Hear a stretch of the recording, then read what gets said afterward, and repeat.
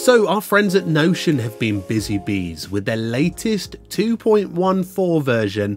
In today's video, we're going to overview a few of the latest Notion updates and give you a bit of insight into some of the changes they're making with the platform. Now, first off, I have to talk about the new tables ability. This is a great addition to Notion. It's actually something that I wish was there from a lot earlier, but it's almost like they're covering some of the smaller features they should have added at the start but in no way is that a bad thing. As you can imagine, you can create and customize tables, and you can do that for absolutely anything, whether that's an event coming up and you want to be able to add all the relevant people and also all the relevant times, um, that's all doable. And one thing they've actually added that was more shocked at was something that I wouldn't actually think about, but they have added it. You can turn any of your simple tables into databases and in reverse as well. So if you've got a database that you want to turn into a simple table because you don't want to overcomplicate it by creating a database, you can do that, which is really neat. And if you've got a table that you want to turn into a database, you can turn that into a database. So having that addition really opens up more flexibility in the platform, something I wouldn't think of actually, and I think it's a really neat addition. Now Notion have also added better comments.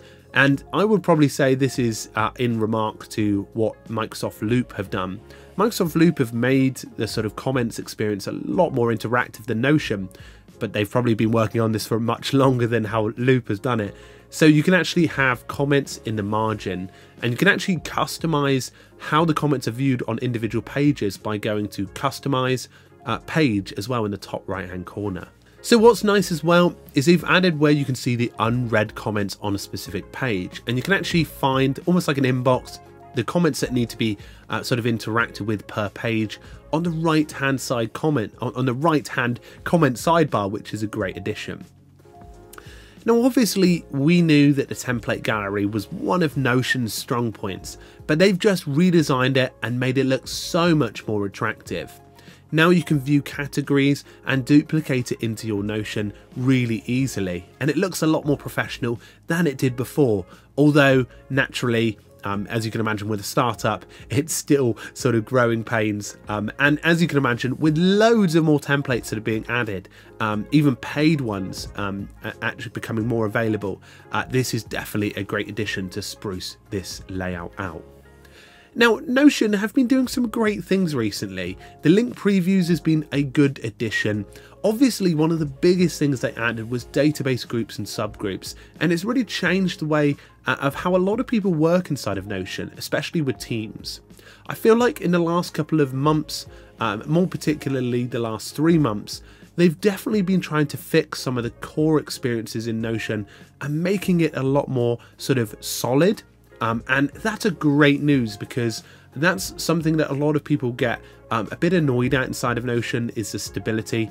Hopefully in the near future they'll be adding offline mode and continuing to grow this sort of platform even further. Now as you can imagine, uh, Notion is not just growing in funding rounds, but it's also growing in popularity. So I think over the last next couple of months, it'll be interesting to see what sort of features and functions they're going to be adding. I have no idea, to be honest. Um, just because of the way that Notion's grown, um, it's continuing to sort of uh, mold itself into a really interactive and innovative workspace tool. So it's really interesting to see their evolution um, and, and definitely something we'll be covering here on Keep Productive. So folks, hopefully you enjoyed this quick overview of what Notion have been doing and I'll talk to you all very soon. Hope you enjoyed it and uh, I'll see you soon folks. Cheerio!